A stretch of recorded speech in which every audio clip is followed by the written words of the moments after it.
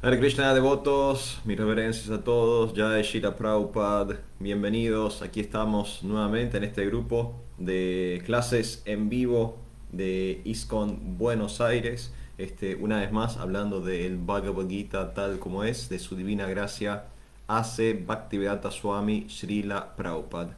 Eh, el día de hoy un poco adelantados en horario habitual, por lo general las charlas se dan 17.30, Recién ahora son las 17 de la República Argentina, son las 5 de la tarde en la República Argentina. Entonces me estoy adelantando un poquito y quiero agradecer particularmente a Chitrak Prabhu, quien es la persona que siempre me invita a prestar este servicio y bueno, que también me ha eh, autorizado para correr un poco el horario del día de hoy. Así que muchas gracias a todos los devotos de ISCON Buenos Aires, todos aquellos que, que apoyan y que mantienen este grupo de estudio y en particular, como dije, a Chitrak Prabhu.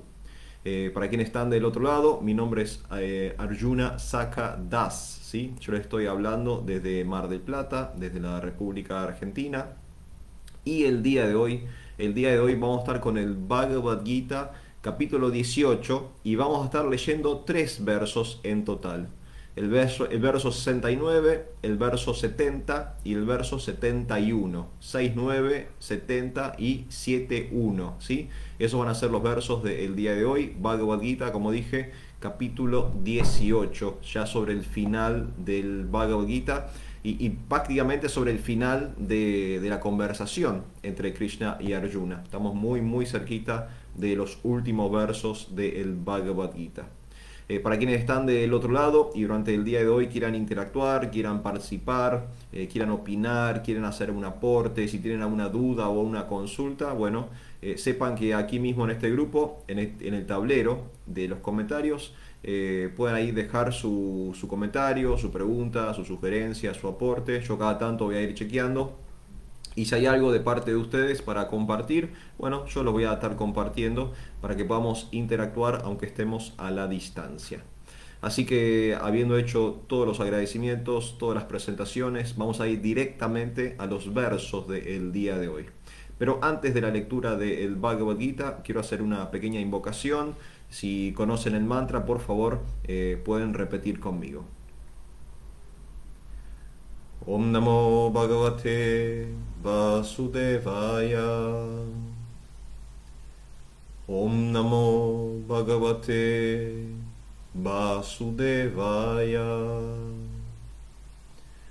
Om Namo Bhagavate Vasudevaya.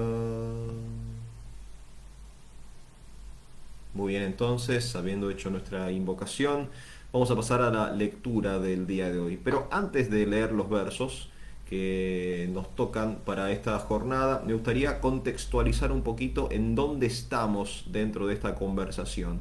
Como dije, capítulo 18, conclusión, la perfección de la renunciación. Estamos hablando del Bhagavad Gita, por supuesto. Eh, mm, su divina gracia hace Bhaktivedanta Swami Srila Prabhupada en la introducción a este Bhagavad Gita tal como es. Él hace una pequeña aclaración, su aclaración es que el Bhagavad Gita en realidad eh, va del capítulo 2 al capítulo 17 y que el capítulo 1 y el capítulo 18 son una especie como de intro y epílogo de, esta obra, ¿sí? de, este Bhagavad Gita que nosotros eh, leemos.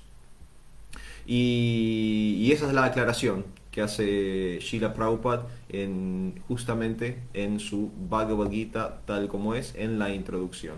Entonces, estamos, como digo, en, digamos, la recta final del Bhagavad Gita. Y este Bhagavad Gita, en su capítulo 18, tiene otra particularidad. Y la segunda particularidad es que es una especie como de em, segundo, segundo capítulo. ¿sí? El capítulo número 2 del Bhagavad Gita, resumen del contenido de Gita, como su título lo indica, eh, reúne en ese capítulo un resumen general de los temas que luego se van a ir charlando a lo largo de la conversación del Bhagavad Gita. Y algo parecido ocurre ahora en este capítulo 18, donde los grandes temas de los cuales se hablaron se vuelven a hablar. Krishna y Arjuna como que cierran esos grandes tópicos que estuvieron tocando durante el diálogo del Bhagavad Gita. Entonces, eh, por un lado es una especie de epílogo, es una especie como de, digamos, de de punto de cierre para, la obra. Eh, y por otro lado, es un segundo resumen general que tiene el Bhagavad Gita. Dos particularidades interesantes que tiene el capítulo 18. Y eh, en cuanto al contexto propio de la, de la charla del Bhagavad Gita, estamos en un momento muy interesante porque en este momento Krishna le está diciendo a Arjuna sobre la importancia de la información contenida dentro del Bhagavad Gita y más que la importancia de la información es la importancia de compartir esa información. En este momento del diálogo, Krishna está eh, elogiando eh, a, aquellos, a aquellas personas, a aquellos devotos que se toman la molestia y que se dedican por entero a eh, difundir las glorias de esta conversación que nosotros conocemos como el Bhagavad Gita. De eso se está hablando justo en este momento. ¿sí? Y los versos que vamos a hablar ahora también tienen que ver con este tema, con la importancia de compartir conciencia de Krishna con todas las personas en base a las enseñanzas del Bhagavad Gita. Por ejemplo, fíjense eh, el verso justo anterior al que vamos a leer el día de hoy. Hoy vamos del 69 al 71. Pero en el texto número 68, 6, 8, Krishna dice lo siguiente. Aquel que les explica a los devotos este secreto supremo tiene garantizado el servicio devocional puro y al final vendrá de vuelta a mí. Fíjense la importancia que le da Krishna a esto de compartir conciencia de Krishna, ¿no? esto de compartir la ciencia de Dios, las enseñanzas del Bhagavad Gita a las demás personas. Eh, Krishna nos asegura que una persona que se dedica a eso eh, obtiene el servicio devocional puro y al final de su vida vuelve directamente con él, ¿sí? regresa al reino de Dios. Así que no es poca cosa lo que asegura eh, Krishna en el Bhagavad Gita en estos últimos versos. Pero el día de hoy vamos a avanzar un poquito más. Vamos a ir del texto 69 al texto 71. Vamos a leer de corrido tres versos y al final del texto 71 hay un pequeño comentario, un significado de Srila Prabhupada. Entonces, si a ustedes les parece, vamos a hacer la siguiente modalidad. Vamos a leer primero todos los versos en sánscrito, luego vamos a leer todas las traducciones en castellano y una vez concluida todas las traducciones en castellano, vamos a leer el único significado, el único comentario que hay en esta trilogía, en este bloque de versos, que es el comentario o el significado Bhaktivedanta del texto 71. ¿sí? Así que si les parece, vamos a utilizar esa modalidad. Vamos a leer todos los versos en sánscrito primero, luego todas las traducciones en castellano y por último el significado de Shira Prabhupada. Y sobre el final, eh, si quieren, podemos hacer algún aporte individual particular extra. Entonces vamos a ir del Bhagavad Gita capítulo 18 desde los textos 69 al texto 71, arrancando por el sánscrito que dice lo siguiente. Nacha tasman manu seyu तश्चिन्मे प्रिया कृत्मना भाविता न च मे तस्मात् अन्यप्रिया तरो भुवि। आदेश्यस्यत्ते च या इमन् धर्म्यं संवदम् अभायो। ज्ञानाभाग्येन तेनाहम् इष्टाश्यम् इति मे मति। श्राद्धवान् अनासूयाश्च। श्रीनुयात् अपि यो नर सोऽपि मुक्ता शुभ शुभलोकन्। प्राप्त Prapnuyat punya karmanam. Ahí tenemos los tres versos en su sánscrito original, ¿sí? el sánscrito ustedes saben, el idioma original de la cultura del yoga, de los cuales el sánscrito eh, tiene toda la literatura védica está en sánscrito, todos los textos clásicos del yoga está en sánscrito, es un idioma muy muy antiguo, muy hermoso, este, y bueno, y es en, que, en lo que aparece originalmente el Bhagavad Gita. Vamos ahora a la traducción al castellano de estos tres versos, ¿sí? Arrancando por el 1869 dice lo siguiente. En este mundo no hay ningún sirviente que sea más querido por mí que aquel que él, y nunca lo habrá. Vamos de vuelta, en este mundo no hay ningún sirviente que sea más querido por mí que él, ni nunca lo habrá. Texto número 70. Y yo declaro que aquel que estudia esta sagrada conversación nuestra me adora con su inteligencia. Y por último, texto 71. Y aquel que escucha con fe y sin envidia se libra de las reacciones pecaminosas y llega a los auspiciosos planetas en los que moran los piadosos. Entonces ahí tenemos los tres versos, lo vuelvo a leer de corrido. Recuerden que Krishna y Arjuna están hablando sobre las personas que comparten el conocimiento védico, el conocimiento espiritual que aparece en el Bhagavad Gita. O sea, estamos hablando de los predicadores, de aquellas personas que se dedican a difundir el Bhagavad Gita. Y esto es lo que tiene que decir Krishna respecto a esas personas. En este mundo no hay ningún sirviente que sea más querido por mí que él, ni nunca lo habrá. Y yo declaro que aquel que estudia esta sagrada conversación nuestra me adora con su inteligencia.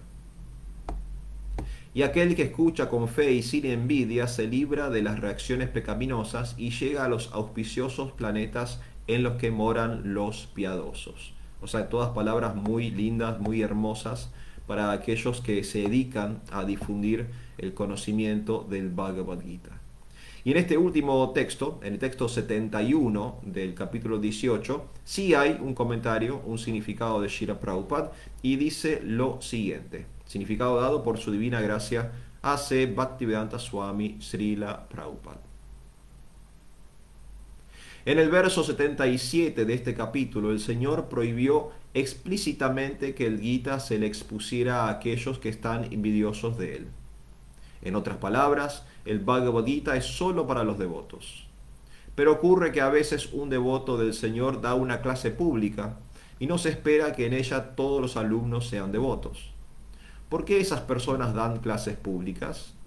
Aquí se explica que si bien no todo el mundo es devoto, aún así hay muchos hombres que no envidian a Krishna. Ellos tienen fe en Él como suprema personalidad de Dios. Si esa clase de personas oye a un devoto genuino hablar de Krishna, entonces ello da como resultado que de inmediato queden libres de todas las reacciones de los pecados y después de ello llegan al sistema planetario en que se encuentran todas las personas virtuosas. En consecuencia, por el simple hecho de oír el Bhagavad Gita, hasta una persona que no trata de ser un devoto puro, de un devoto puro, obtiene el resultado que se obtiene de las actividades virtuosas. Así pues, el devoto puro del Señor les brinda a todos la oportunidad de librarse de todas las reacciones pecaminosas y de convertirse en devoto del Señor. Por lo general, aquellos que están libres de reacciones pecaminosas, aquellos que son virtuosos, se dan muy fácilmente al proceso de conciencia de Krishna. La palabra punya karmanam aquí es muy significativa. La misma se refiere a la ejecución de grandes sacrificios, tales como el Ashvamedha Yagya, que se menciona en la literatura védica. Aquellos que son virtuosos en la ejecución del servicio devocional, pero no son puros, pueden llegar al sistema planetario de la estrella polar o Dhruva Loka, donde preside Dhruva Maharaj. Él es un gran devoto del Señor y tiene un planeta especial que se conoce como la estrella polar. Entonces ahí tenemos el significado dado por su divina gracia, hace Bhaktivedanta Swami la Prabhupada, un comentario muy interesante a estos tres hermosos versos que tiene casi sobre el final el Bhagavad Gita.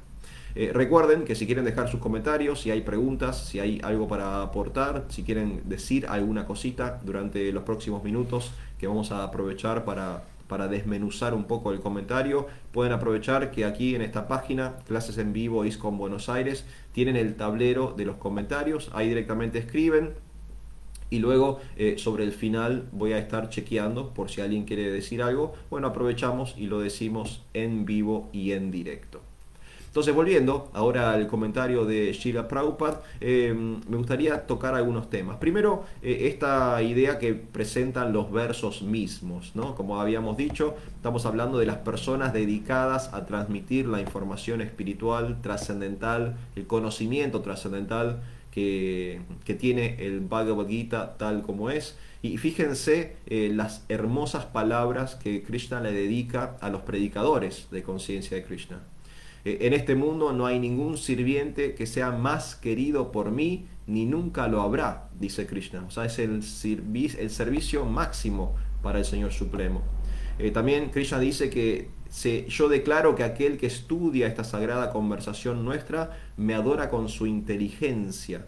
Habíamos hablado alguna vez eh, sobre la inteligencia como una herramienta de emancipación. Así se presenta también en el Bhagavad Gita, en el 10.10 del Bhagavad Gita. De hecho, es uno de los Chaturashlokis, ¿sí? uno de los cuatro versos principales del Bhagavad Gita, donde Krishna nos promete que si nosotros hacemos un esfuerzo por acercarnos a Él, Él nos da la inteligencia mediante la cual podemos trascender, mediante la cual podemos volver eh, al reino de Dios. Bueno, acá una vez más comenta algo similar eh, Krishna diciendo que quien estudia esta conversación, este Bhagavad Gita, está adorando a Dios con su inteligencia. Y lo último que había dicho en el texto número 71, es que aquel que escucha con fe y sin envidia se libra de todas las reacciones pecaminosas y llega a los auspiciosos planetas en los que moran los piadosos. O sea que no solamente hay beneficios para quien comparte, para quien está hablando el Bhagavad Gita o las enseñanzas del Bhagavad Gita, también hay grandes beneficios para quien escucha, ¿sí? simplemente escuchar con un poco de humildad, eh, con un poco de fe, estar, un poco, estar libres de la envidia hacia Dios, libres de esta idea de querer ser el centro del universo constantemente, con, con esas pequeñas actitudes, con esos pequeños comportamientos, también nos beneficiamos enormemente. No solo se beneficia eh, y no solo es querido aquel que comparte el Bhagavad Gita, sino que también se beneficia aquel que escucha el conocimiento trascendental del Bhagavad Gita. Y en base a eso, Prabhupada eh, establece su significado aquí en el texto 71. Lo primero que aclara es que dice que eh, anteriormente, en el texto 77 de este capítulo, el Señor prohibió explícitamente que el Gita se le expusiera a aquellos que están envidiosos de él. En otras palabras, el Bhagavad Gita es solo para devotos. ¿Qué significa que esto que es solo para devotos? Bueno, después Krishna, perdón, Prabhupada va a hablar un poquito sobre este tema, pero básicamente el tema acá es la envidia, ¿sí? Anasuya. Hay que estar libres de envidia. Y de esto Krishna ya ha hablado anteriormente en el Bhagavad Gita y es de hecho eh, una de las características de la, por qué Arjuna es el receptáculo de toda esta información sagrada. Krishna le dice a Arjuna, creo que dos o tres veces a lo largo de la conversación, que él reúne dos características principales por las cuales él es el, eh, digamos, el receptáculo perfecto para el conocimiento trascendental del Bhagavad Gita. Krishna le dice a Arjuna, vos tenés dos cualidades principales que, por las cuales vos sos el ideal para que yo te pueda estar charlando y hablando toda esta información divina. Una es que sos mi amigo, ¿sí? Arjuna tiene una, raza, una modalidad, tiene una actitud amistosa para con Dios. Y la otra, anasuya, ¿sí? él es libre de envidia. Y estas dos cualidades, estas dos características, estar libre de envidia y ser amistoso, eh, le valieron a Arjuna ese rol protagónico en, este gran diálogo espiritual filosófico, ¿sí? ser la persona que hace las preguntas, ser la persona que recibe el conocimiento espiritual directamente de labios del Señor. Nada más y nada menos. ¿sí? Entonces acá, como dice eh, Prabhupada en su significado, en su comentario, lo esencial es no ser envidioso de Dios, ¿sí? no tenerle envidia a Dios. Si no tenemos envidia de Dios, entonces bueno, estas palabras van a llegar al corazón y en última instancia van a transformar nuestras vidas. Pero en la medida que nos, mantenemos envidiosos de Dios, en la medida que queremos nosotros ser los disfrutadores y no permitirle al ser supremo ser el disfrutador, eh, bueno, entonces no podemos acceder a este conocimiento trascendental. Por eso se habla de hablarle el Bhagavad Gita a aquellos que no son envidiosos de Dios o solo charlar el Bhagavad Gita para con los devotos. Pero ¿qué pasa cuando le hablamos el Bhagavad Gita a los no devotos? Bueno, Prabhupada también habla de esto en el significado. Él dice, pero ocurre que a veces un devoto del Señor da una clase pública y no se espera que en ella todos los alumnos sean devotos. ¿Por qué esas personas dan clases públicas? Aquí se explica que si bien no todo el mundo es devoto, aún así hay muchos hombres que no envidian a Krishna. Ellos tienen fe en Él como suprema personalidad de Dios. Si esa clase de personas oye a un devoto genuino hablar del Señor, ello da como resultado que de inmediato queden libres de todas las reacciones a los pecados y después de eso llegan al sistema planetario en el que se encuentran todas las personas virtuosas. Fíjense lo que dice Prabhupada, es impresionante, ¿no? Entonces, lo ideal es hablar entre devotos, o sea, hablar entre personas que no envidian a Dios, personas que tienen una actitud, un comportamiento, eh, un sentimiento amistoso, amoroso para con la suprema personalidad.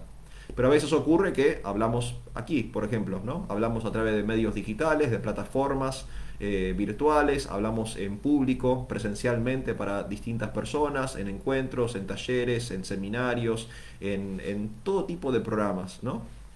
Y como dice Prabhupada, obviamente dentro de ese gran rango de audiencia, no todos van a ser devotos, no, todas van no, no todos van a ser personas amistosas para con Dios, eh, y, es muy probable que alguno sea un envidioso de Dios, que haya personas ateas, que haya personas contrarias eh, al pensamiento divino.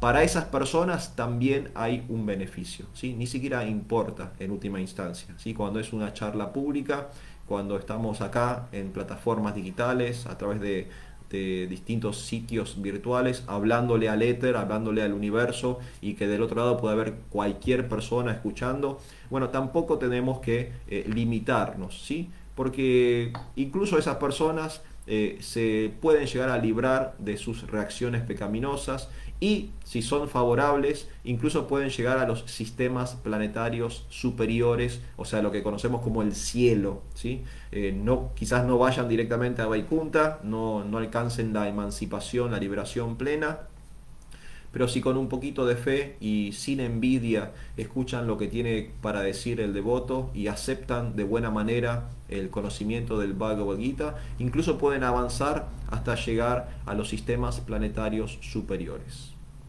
En consecuencia, dice Shira Prabhupada, por el simple hecho de oír el Bhagavad Gita, hasta una persona que no trata de ser un devoto puro obtiene el resultado que se obtiene de las actividades virtuosas.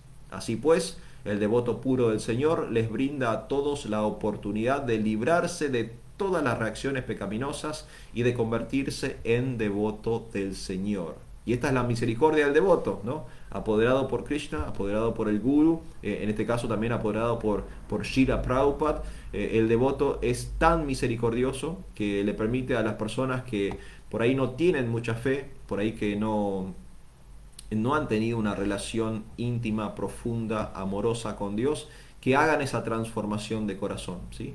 Eh, esa es la misericordia del devoto, que quizás quien está escuchando del otro lado no tiene intenciones de hacerse devoto, de volverse un Vaishnava, pero las palabras igual llegan al corazón. ¿sí? Son palabras puras, que si se dicen exactamente como fueron escuchadas, sin alteraciones, sin manipulaciones, si se expresan de la forma más pura posible, eso llega al corazón de las personas y logra esa transformación interna que en última instancia hace que la persona se libre de todas sus reacciones y a su vez se transforme en un devoto del Señor. El último párrafo dice lo siguiente, por lo general, aquellos que están libres de reacciones pecaminosas, aquellos que son virtuosos, se dan muy fácilmente al proceso de conciencia de Krishna. La palabra puña karmanam aquí es muy significativa. La misma se refiere a la ejecución de grandes sacrificios, tales como el Ashvamedha Yajna, que se menciona en la literatura védica. Aquellos que son virtuosos en la ejecución del servicio devocional, pero no son puros, pueden llegar al sistema planetario de la estrella polar o Dhruva Loka, donde reside Dhruva Maharaj. Él es un gran devoto del Señor y tiene un planeta especial que se conoce como la estrella polar. Entonces acá, este párrafo aparte, ya no está hablando de los no devotos, sino que está hablando de los devotos. ¿sí? Hay personas que sí son virtuosas y como dice Sheila Prabhupada en otros eh, comentarios y también ha dicho en sus caminatas y en sus clases, eh, las personas inteligentes eh, naturalmente tienden a ser conscientes de Krishna. ¿sí? Cualquier persona que sigue principios, que es virtuosa, que es humilde, que tiene una actitud amistosa, amorosa, amable para con Dios, naturalmente en, con el tiempo, a través de su propio proceso espiritual, se transforma en un devoto del Señor. ¿sí? Es natural, es completamente natural. Aquí Prabhupada vuelve a decir eso, ¿no? Si una persona ya es virtuosa, si ya está practicando principios, entonces es natural que se haga devoto.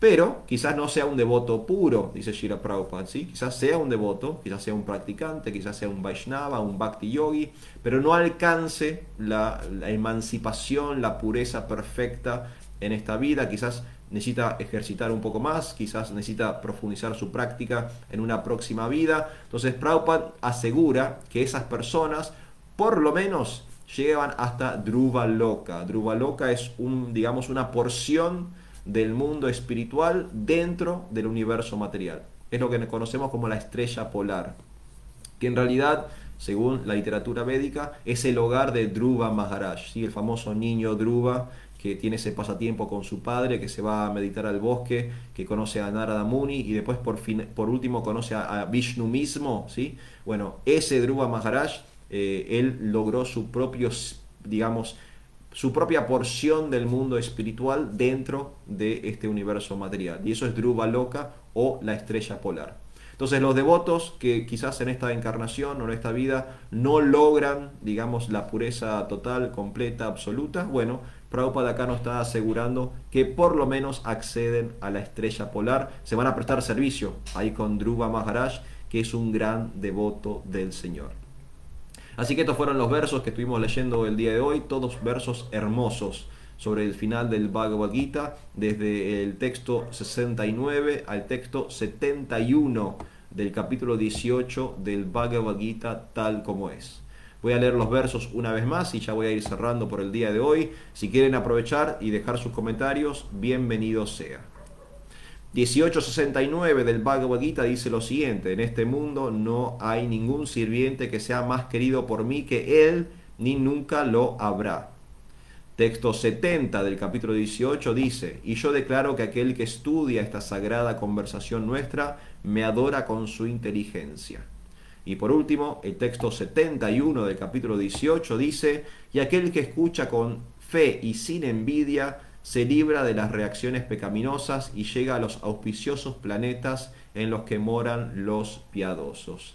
Tres versos hermosos del final casi ya del Bhagavad Gita, en donde Arjuna y Krishna están hablando sobre la importancia de compartir conciencia de Krishna y la importancia de oír acerca de conciencia de Krishna.